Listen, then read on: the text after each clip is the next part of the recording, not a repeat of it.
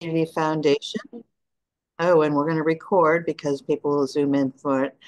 So, um, what we'd like to do today is have a conversation about voting system integrity and turnout in Chester County, most definitely. And uh, we are joined by Karen Barsoum, who's the director of uh, Chester County Voter Services. She's got a little bit on her plate right now. Um, so, um, what we'd like to do is actually start with a brief video that uh, was on just late last week from the League of Women Voters about um, voting system integrity and just voter turnout. And then turn it over to you, Karen. We have some slides to go through and some discussion to have. Does that work? So actually, thank you for sharing the screen and let's see if we can get the Zoom rolling for, it's just, I think, a four minute video.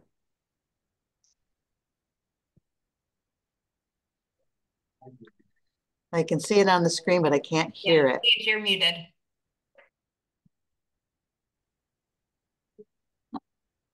Hi, Bob. All right, here we go. For Amy Widestrom, Executive Director for the League of Women Voters of Pennsylvania.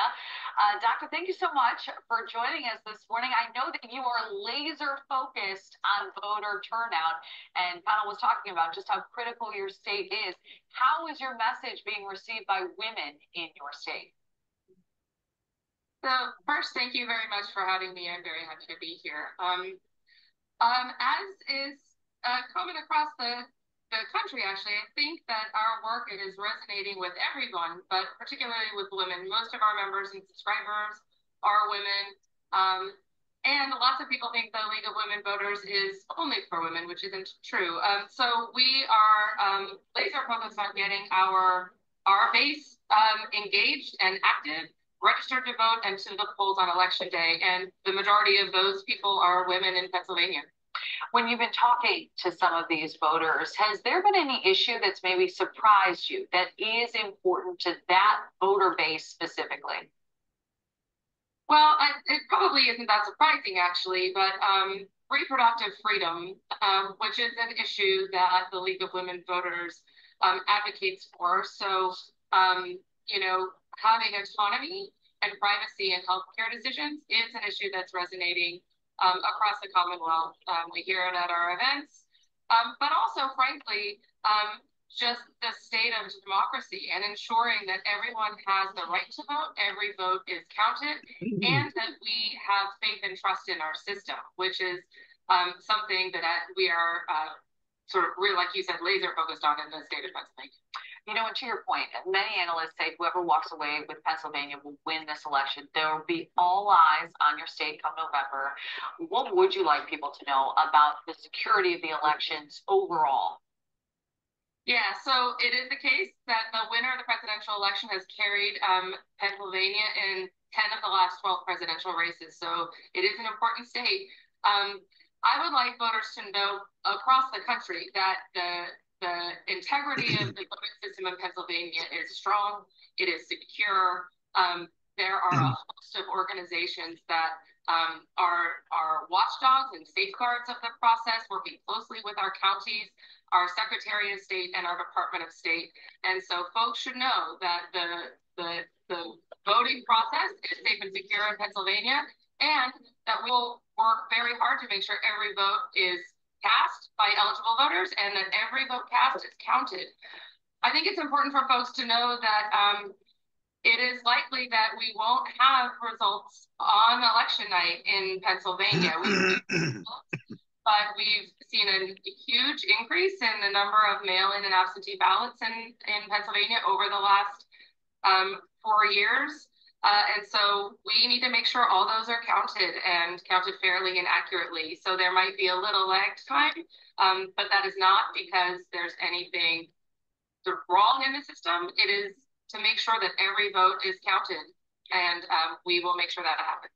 Well, let's zero in on those mail-in ballots and the drop boxes uh, specifically. You know, there has been criticism that they lessen security of the elections overall. Uh, would you mind giving us a refresher on the rules in Pennsylvania regarding mail-in ballots and those drop boxes?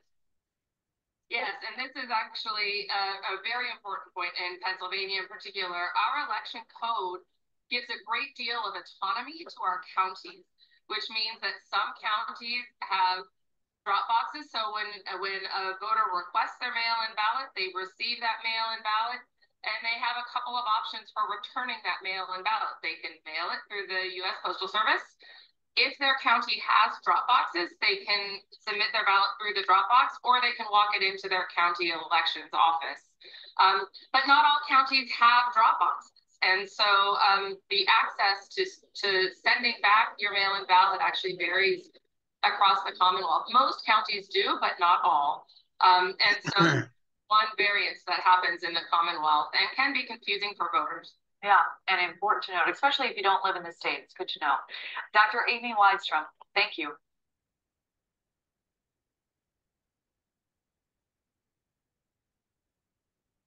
Welcome back. Welcome back. And now that we have uh, that is a sort of a setup we have live and in person, not on a time delay. Um, Karen Barsoum from Chester County Voter Services. And Paige, why don't we go through some of the handouts here? So yeah, we all know this part and keep going. We have a little bit of, last month when we talked, um, Karen, we Carter Walker was here from Vote VoteBeat and he talked an awful, awful lot about trust in elections across Pennsylvania. And one of the things he says is he doesn't have to talk with Karen Barr so much because Chester County is pretty well handled. Um, and then, you know, as voter integrity keeps coming up and security and all, and just getting out the vote, just wanted to make sure um, to have you help uh, get our sense of why uh, Carter Walker doesn't have to bother too much out here in Chester County. But let's talk about it. And page, what we have on the next page here? So, um, yeah, let's talk about system integrity. And Karen, you know, can you share a bit about voter services mission overall? And uh, just we have a few pages for you to share, so please go right ahead. Yes, yeah, so um, thank you for having me. Good afternoon, everyone. Um, the, the biggest mission, um, obviously, from Voter Services is um, to have everyone participate in the process. If that would be from running for office to actually registering to vote, uh, participating then on election day with actually voting um, if that would be in person or by mail-in ballots, absentees, civilians, overseas, military, all scenarios, all voters, uh, we would like to offer them services and, and help in um, accomplishing those processes, um, which as this is a presidential election year, our administration, um, election administration really focuses on volume and making sure we do a lot of outreach and education, including um, making sure that people know that elections are safe and secure and, and can be trusted, and there's a lot of protocols and check and balances in place. Um, election years like next year, when there is a municipal election, our administration really is, um, in a way, a little bit more complicated from a, a, administrative point of view, where actually people can fill out petitions and run for office and have uh, campaign finance uh, that they need to file. So then we will be the entity where all of that can happen as well. Um, in the county of Chester, we have um, actually now more than 380,000 registered voters. I'm actually curious to see where that will end. Uh, my guesstimate has been close to 400,000. This county is growing. Um, we we see an increase of uh, voter registrations, which is still open um, for a little bit, uh, not too long anymore, but we still have an increase in in those applications. Um, so there's a lot of things that we we do in this county um, uh, uh, from you know helping people understanding how the process works education outreach um, we uh, make sure that we have certain processes in place and services um, such as drop boxes, secure process. Um, there is a lot of things um, actually in the law. There is also some things where um, county administration and the Board of Elections um, can, um, you know, choose what kind of services maybe they would like to expand on. Um, and then we will, um, as I work as, at the pleasure of the Board of Elections, we will work together to see what the constituents here in Chester County, um, you know, the desire and how that could be uh, lawfully implemented.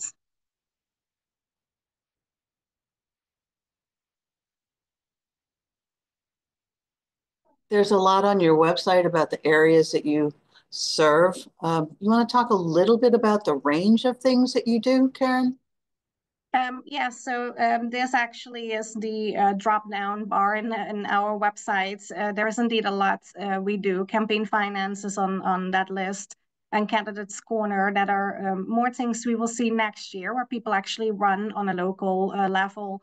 Um, you have all the townships and boroughs that have different um, positions uh, that are on the ballot. Also, poll workers will be on the ballot next year. Um, we have uh, school districts that have uh, school directors on ballots. So that is all in the municipal uh, year, which are the uneven years. Um, we also have um, a lot of polling places. Uh, and uh, we have 230 polling places uh, here in this county. Um, they all need to be uh, staffed with poll workers. This year we are going in the direction of 2,000 uh, poll workers. I know 1,700 of those already uh, signed up or participated in, in poll worker classes, which we also um, administer. Um, we issue poll watcher and observer certific certificates for the parties uh, to um, be able to observe and, and watch the election process um, at the poll or at Central Scan. Um, there's so many things on our website, but yes, um, basically everything from running for office to administering the elections, making sure we have polling places, we have people that um, staff the polling places, that they are trained, um, that we have drop boxes available in the community, uh, that people can participate and make a voting plan and, and participate either by mail-in or, or absentee or in person. Um, and then in, in addition to all of that, election day itself, we have uh, two operations simultaneously. One would be the in-person voting operation with all the customer service that comes with that at the poll, as well as in our office. And we do have a 24-7 operation for our tabulation, uh, of the actual mail-in and absentee ballots, which is uh, a very large operation that we currently, for this upcoming election, are going to staff with uh, the between 60 to 70 staffers every second and uh, day and night, which is um, actually currently um, all um, uh, volunteers from other departments.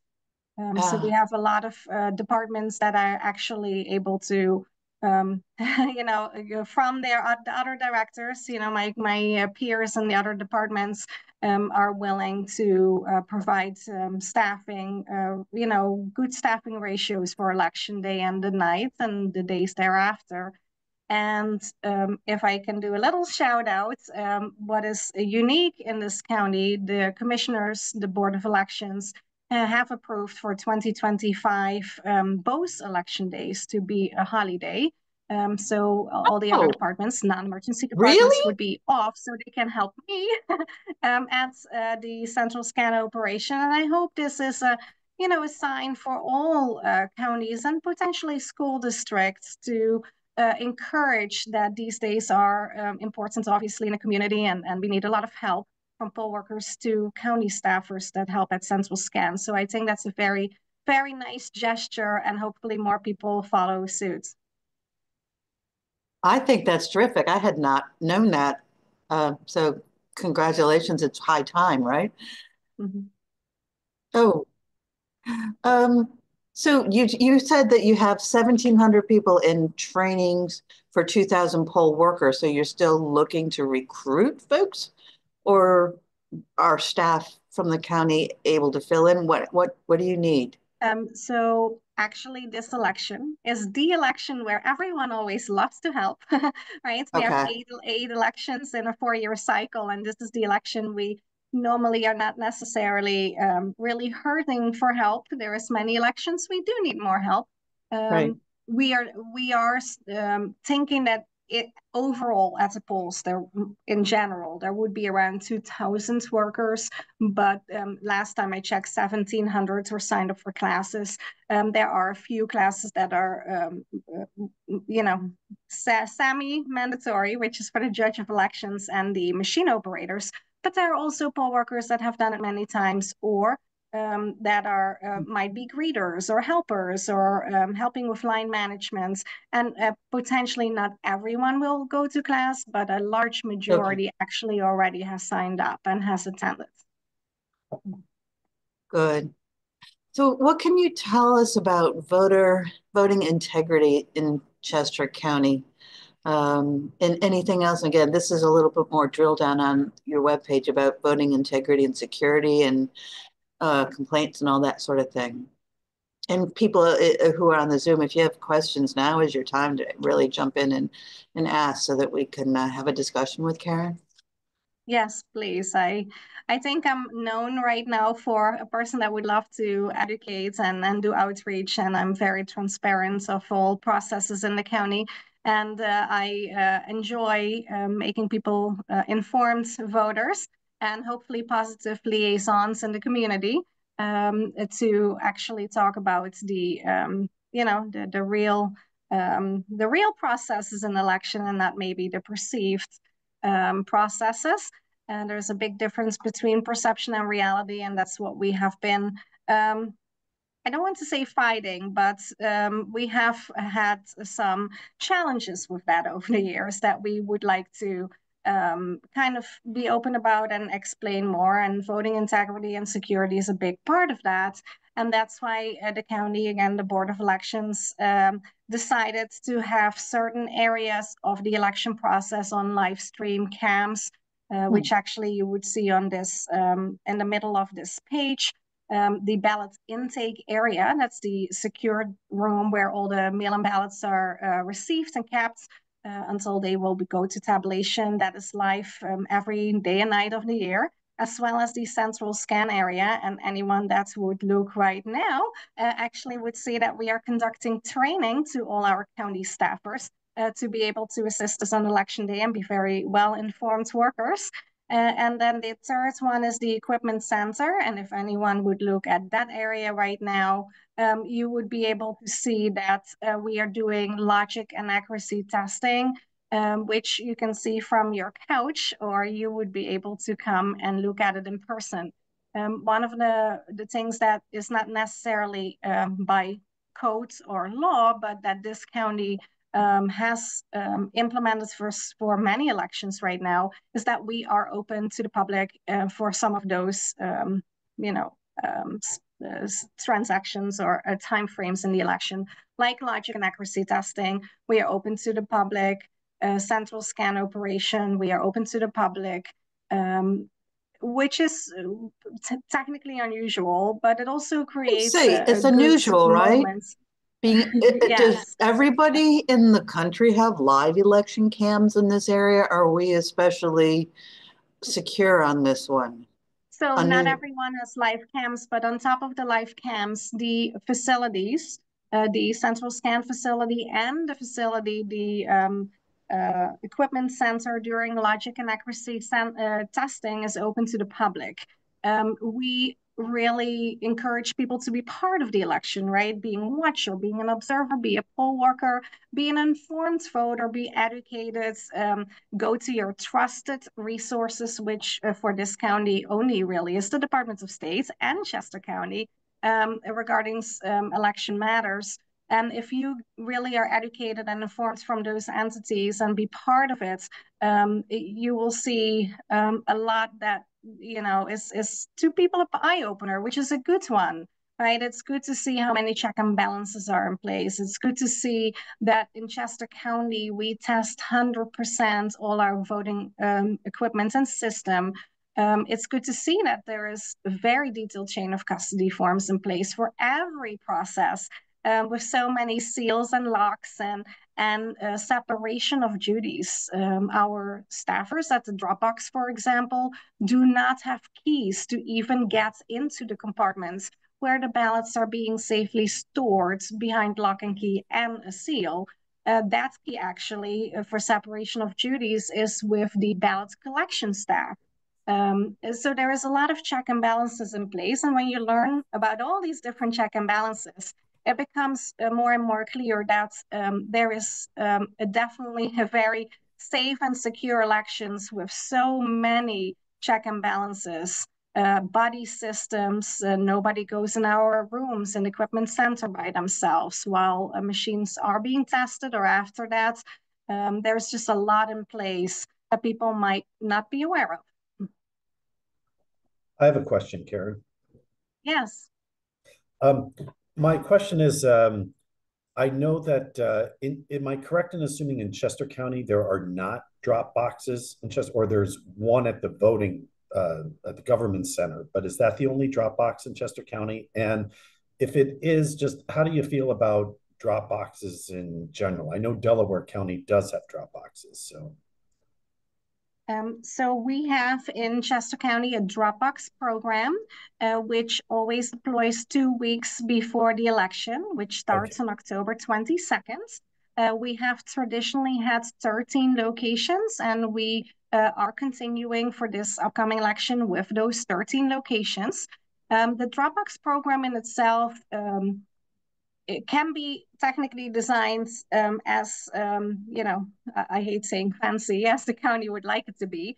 Um, but um, our county here in Chester County, um, our Dropbox program has been uh, mentioned even by our Secretary of State as uh, the golden standards of the election process in, in um, one of his meetings, where we actually have two staffers next to a box. The Dropbox has a motion detected camera the camera has night vision, the camera has a battery, and there is a solar panel attached for recharging during the day.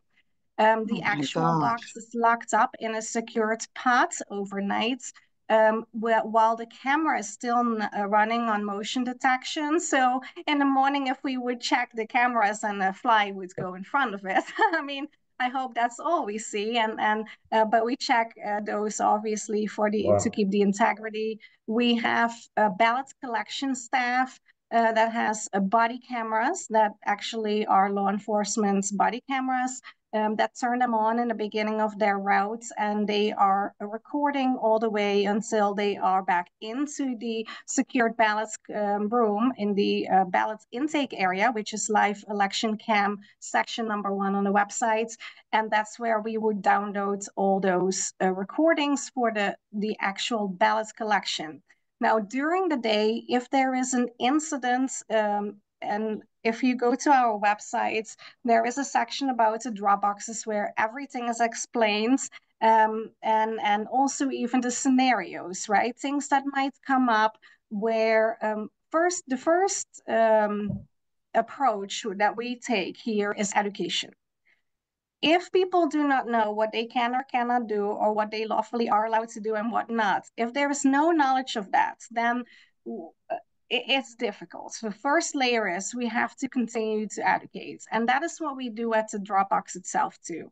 The um, staffer educates the voter to make sure it's their ballot, it's signed and dated, and then they can insert it. There is an educational flyer, there is uh, voted stickers. And if they do have a ballot of their family member with them, they will be told that they could not insert that uh, explain the laws and many people are like okay i didn't know that now i understand so education mm. is is up you know the forefront um, but then obviously some people do not listen and things might happen and that's why we have um, uh, other things in place uh, which includes the referrals to the district attorney's office and submitting of the video clips of those motion detection cameras and, and things like that, which has drastically reduced over the last few elections because people become more educated.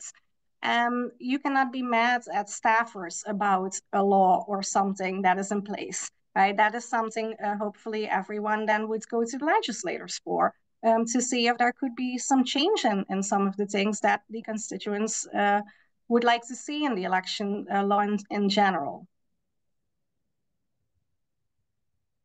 Erin, Thank you. I, I also had a question.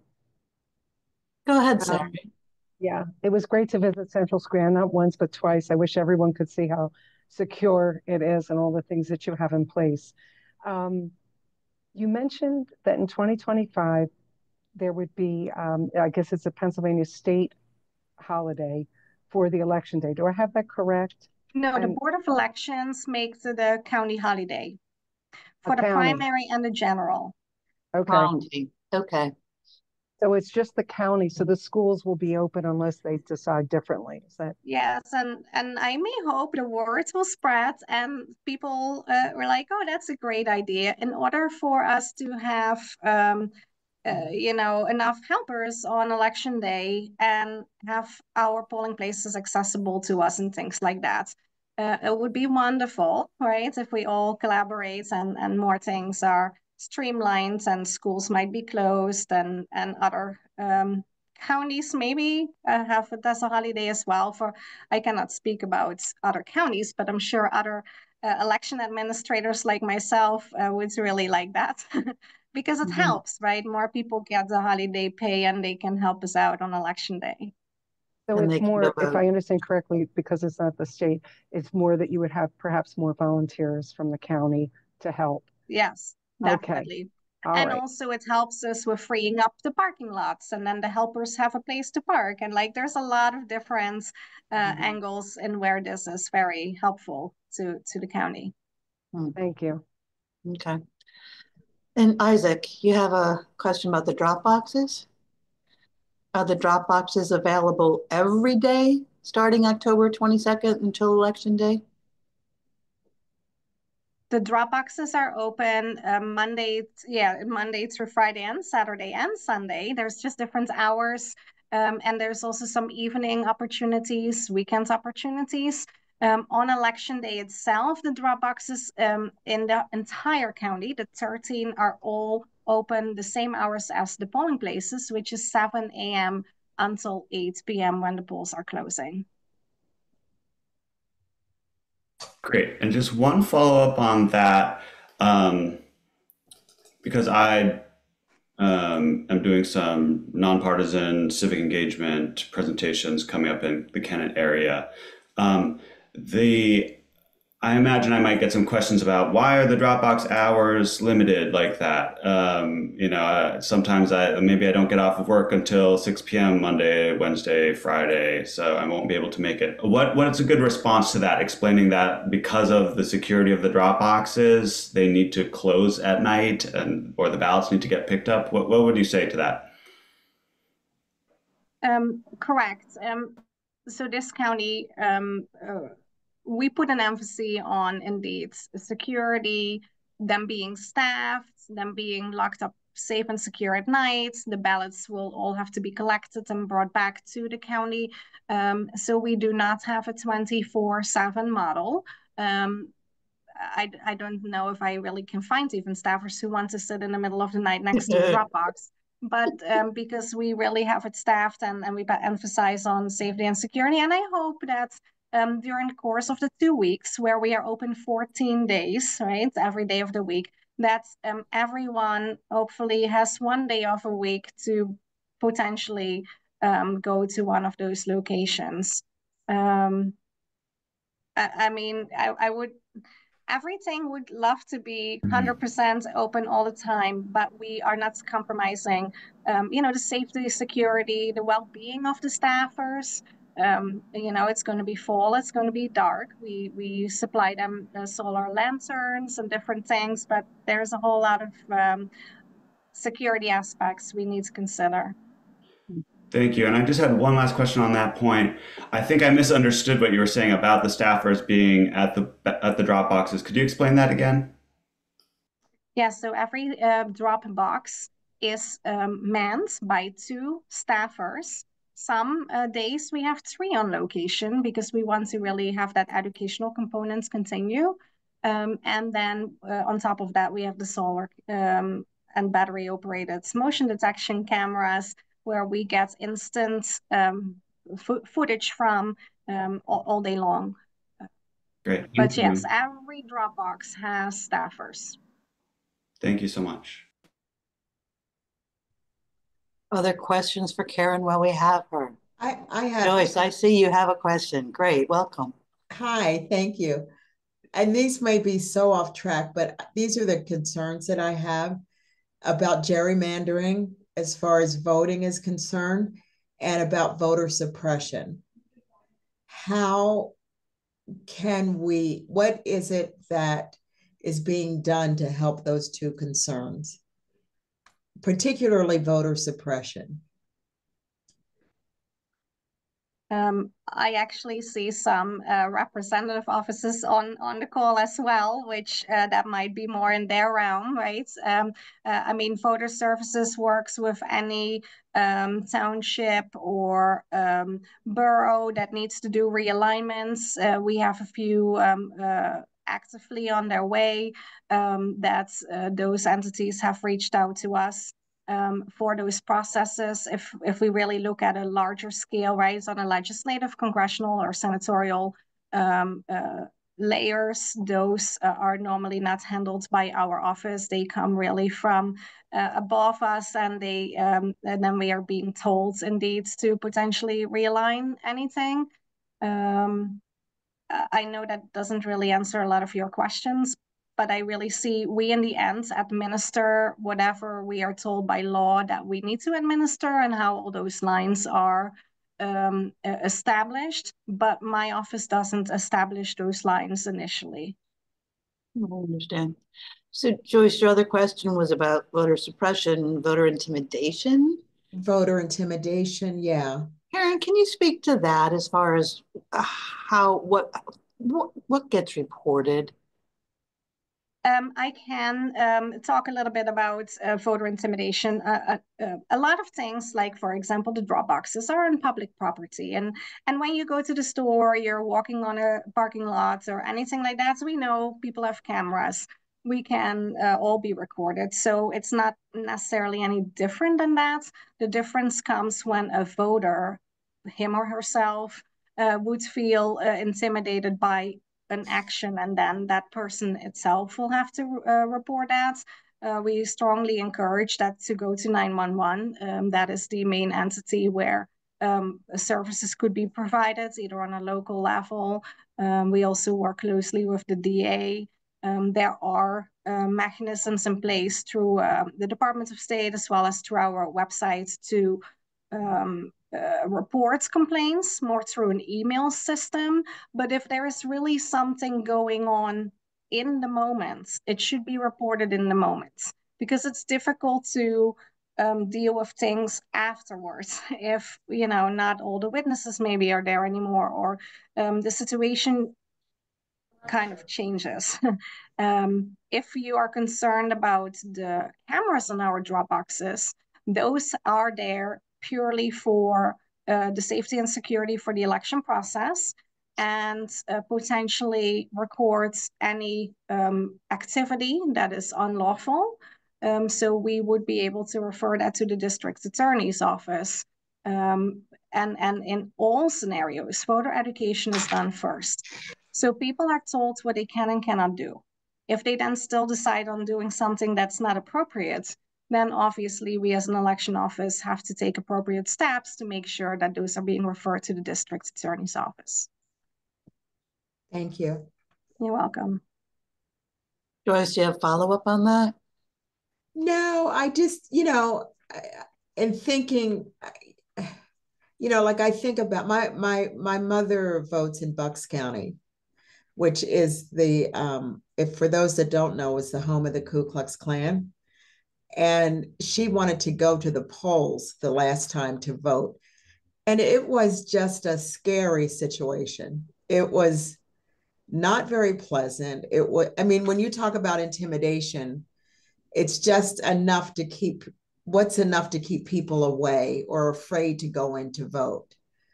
So, I mean, we braved our way through and she she's 90 she was 90 90 i think 91 or so at the time and um, I, but it was just a, it's kind of a scary situation. May may I maybe respond to some of the things that you know we do have in place at the polls or or what kind of relationships we have created um, for many years now the departments my departments uh, works very closely with the party um, offices the chairs of the parties in chester county where we actually establish uh, relationships and really have good connections on election day where we openly communicate if there is inappropriate behavior by individuals that do electioneering at the poll. So if there is something going on at the poll that is inappropriate behavior that makes people feel unwelcome or um, the, the voting uh, polling place is not accessible in a way that it should be, um, those reports come in and then we will work directly with the parties to rectify that. In addition, um, in federal election years, uh, the county provides training to the constables, uh, which we also have conducted this year. Um, this county has a Roma program where we have, um, it's almost like a liaison from my office, um, has um, like five or six judges of elections under their supervision, not necessarily to tell them what to do, but to be there for them to support mm-hmm. them, to help calling if needed, provide additional information, mitigate scenarios. Um, and then on top of that, this county has a, a technicians program. Uh, they are all county employees. Um, they also carry a 911 radio. They are directly communicating with the um, command center that we have fully um, in, um, in place uh, on election day um, where we have a representative of the sheriff's office, DA's office, solicitor's office, uh, solicitor's office, county commissioner's office, my office, Department of Emergency Services, security, and local law enforcement. So we do have that incident command center in place, and we have 10 zones in the county that we can communicate directly with. Um, so there's a lot of layers. And in addition to that, this year, um, I invited uh, CISA, the federal government, to come in and do a special training for our poll workers purely on um, different incidents and scenarios and how to deal with that. Um, so there is a lot of layers in place that um, I may hope something you have described would never happen in this county. And God forbid it does, we directly have things in place that either local or all the way up, uh, we directly can deal with that because that is not acceptable. Thank you. Amazing, Karen. Thank you. Thank you. Every year, more and more and more. Yeah. Um, we're going to uh, send the Dropbox comments to you. Actually, I'm going to ask staff. And Isaac found that there's a couple of things. I don't know if you can see the comments, Karen. Um, something a date is uh, out of date on the Dropbox stuff. It must be for the primary election. And then, do you have a PDF version of the Dropbox locations you could put online so people can print them out? I will look at it after we. Um, yeah, we'll we send it over. Yeah. Okay, Isaac. And the Dropbox that... link, I don't think is live yet. It's the satellite offices voter registration and mail-in absentee voting. I, I will look at the Dropbox section. Thank you so much. Yeah, we'll send the comments over. I think I noticed that. Yeah. Good. Good. Does anybody else have broad questions for Karen overall? I thought it was interesting if you take the next couple of slides, I think just to look at who, uh, how many people you are gearing up for. And I know there's not a comparison as far as turnout. I'm just amazed by the number of people that you are gearing up for, Karen, as far as voter voting integrity. Do you want to, these were on the website as well. Can you tell us what we're seeing? Um, the screen that is up right now is the April 2024 election, and we were geared up for this to be also um, a pretty large election, um, which, you know, the numbers reflect a higher participation, but there was also not the highest participation, maybe because a lot of things were kind of already decided on, you know, because the primary election is uh, we either had a Democratic ballot and a Republican ballot, and there were not a lot of choices in general. Now, uh, obviously, there are some offices that might have choices, but if there is less to vote on, probably there is a little less of a turnout. And by the time it was here in Pennsylvania, there was not a lot left on the presidential race itself anymore.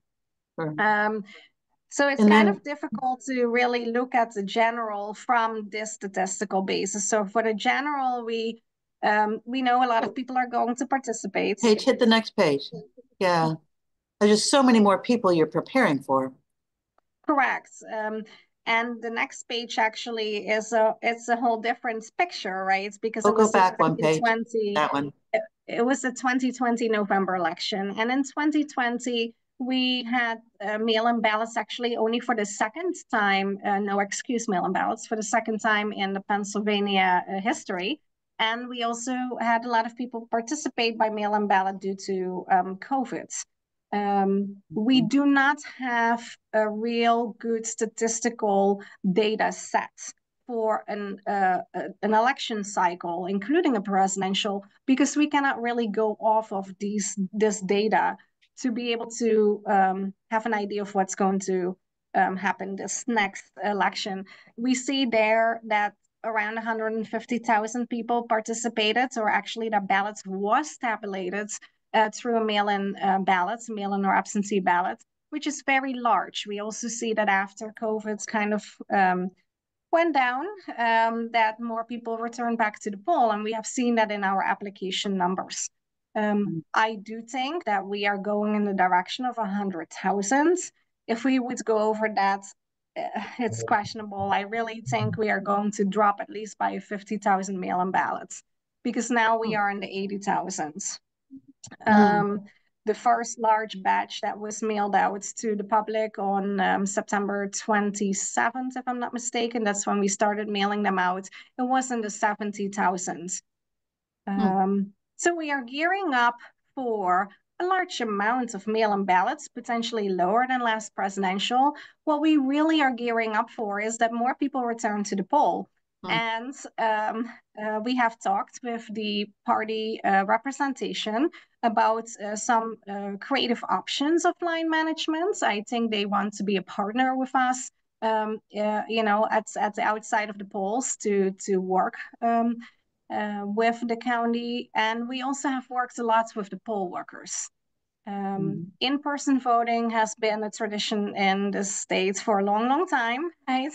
Um, but not necessarily a whole lot of uh, modernization was um, uh, put into in-person voting, which I actually makes my projects for 2023 last year to really look at uh, what are the inconveniences and conveniences for poll workers and how can we streamline things for them.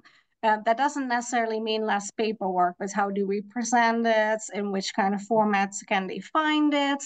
What kind of freedoms can we give them in line management? How can they break up poll books if necessary in different configurations and so on?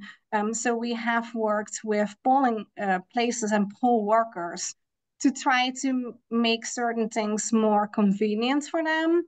Uh, but mm. in-person voting is it, it's a lot of paperwork, a lot of processes, um, you know, in between um, people that might need to do an affirmation or people that need to do a provisional or people that want to surrender their ballots. There is just a lot of special scenarios that these poll workers have to be trained at, and that costs time. Right, right. Thank you very much. I know, uh, Isaac, you had a question about access, language, language. access. Yeah, Isaac? That's just a general question and more, I guess, more about election day itself and the polling places. What can voters who don't speak English as a primary language expect to encounter?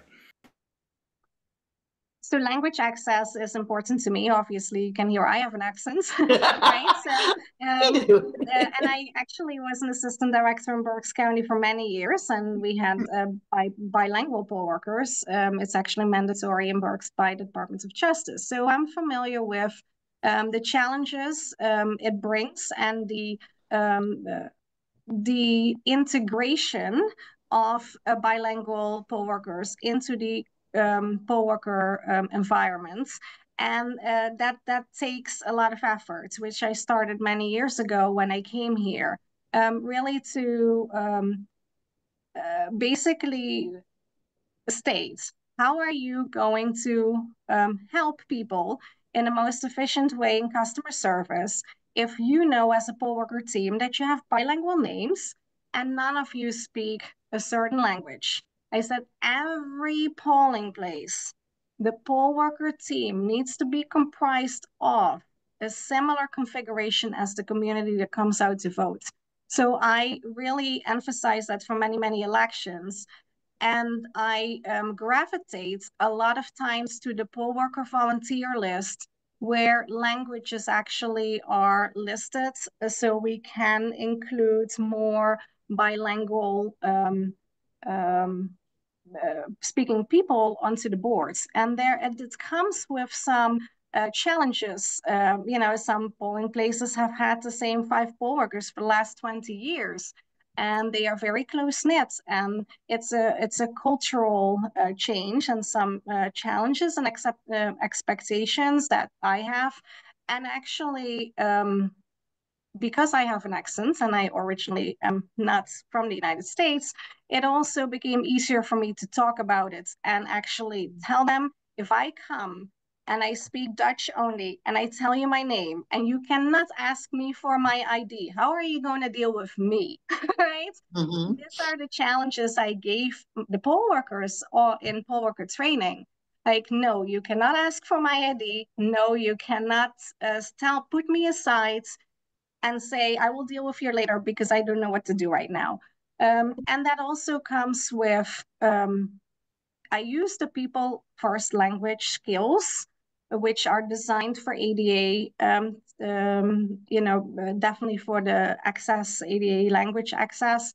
Um, I use that to kind of migrate to the uh, language access that people want to be treated as the person itself, not their translator, not their um, you know other special capabilities. Which is to me, it's not a, um, a disability. Is not a disability. It's just another ability.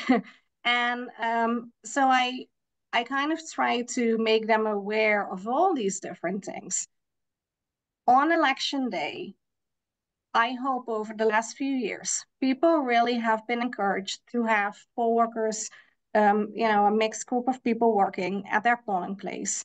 Um, it seems like you are in the candidates area. I would love to partner with you or be present at any outreach events to encourage people to be part of the team uh, and to be to be poll workers in their communities. Uh, people are allowed to bring anyone with them to assist them in the process. Um, unfortunately, there's paperwork for it, but that is to make sure that the voter really, and, and I think it's also a way how we explain it. If I need to have a interpreter with me, I, as a voter, am going to be okay with compromising my secrecy to vote. Mm. And me being okay with that, I need to declare that in writing to the county or in paper in writing. And that is how we should explain it right? Uh, voting is secret. Everyone can have an assister. We just need to make sure that the voter was okay with giving up the secrecy of their voting process because now they have somebody translate. And, and that are all different layers we try to explain uh, in detail in poll worker training. Um, I know we are not a bilingual county. Um, I know there's need for more outreach in bilingual areas and I um I'm, I continue to partner with people and and I would love to see if there's other things how we can um, encourage people uh, to be part in their community and to be part of the poll worker team. That's really the biggest issue that people don't necessarily feel comfortable to singularly step into a group of people that have done it for a long, long time. So I'm trying to change that culture. Hmm. Thank you for trying and we'll keep going. As we get closer to our noon time, if you have other questions or comments, please uh, make them be known. We've got Karen until one o'clock at the latest. The other slides that we have here, page, let's quickly go through. Oh, well, here we go, Karen. We know these dates. Any questions? If I may make a comments in general um, uh, regarding uh, um, I I love that people want to educate people and that they use the trusted resources. Um, we just need to make sure and be vigilant that nobody really alters any of our documents or um, what I mean with that is I have seen a lot of people use sample ballots as materials to do to send out for um, campaigning and they pre color in the ovals, make it a sample ballot, but to the voters, it doesn't appear as such.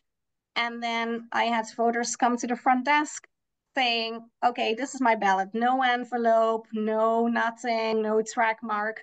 Uh, we really need to be vigilant and continue educating. If there is any time, any mailer, um, any email that comes out from a third party that potentially doesn't provide a clear picture or understanding to people, um, I normally, as soon as I'm aware of it, I try to work with the entity that sent it out to see if they can rectify it or change their uh, potential, um, you know, behavior of what they send out.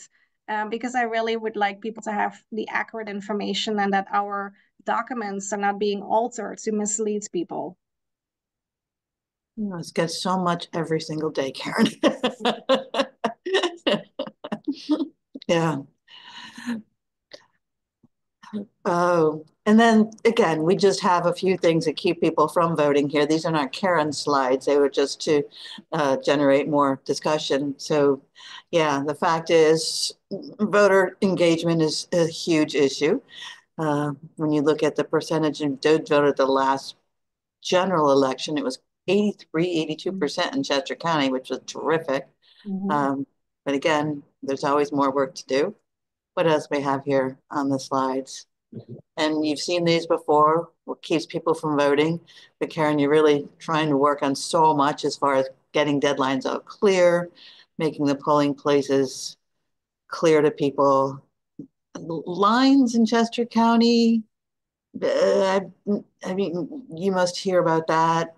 Uh, correct ID, um, provisional ballots. I mean, getting help all kinds of things keep people, eh, but especially the day off or just getting there in some cases, or the intimidation factor with some. What else? Again, just trying to get younger people voting. I think uh, the universities are doing quite a bit in places of faith and getting out more. And there's a lot of interest, so that should make a big difference. And again, schedules, places, questions answered, fake and true information. That's getting a ride and getting off of the shift. So we know all kinds of reasons people say are for not voting, so how can we overcome those? Again, we talked about some access issues, finding polling places. And again, being able to get off of work to vote, whether that's in a uh, Dropbox or in person. So working to improve. And actually, uh, our voices should be heard. I saw that Cheryl Miles was on the call before. I wasn't sure if anybody else wanted to talk about what our voices should be heard is trying to do. Is there anybody who could speak to our voices should be heard still on the call?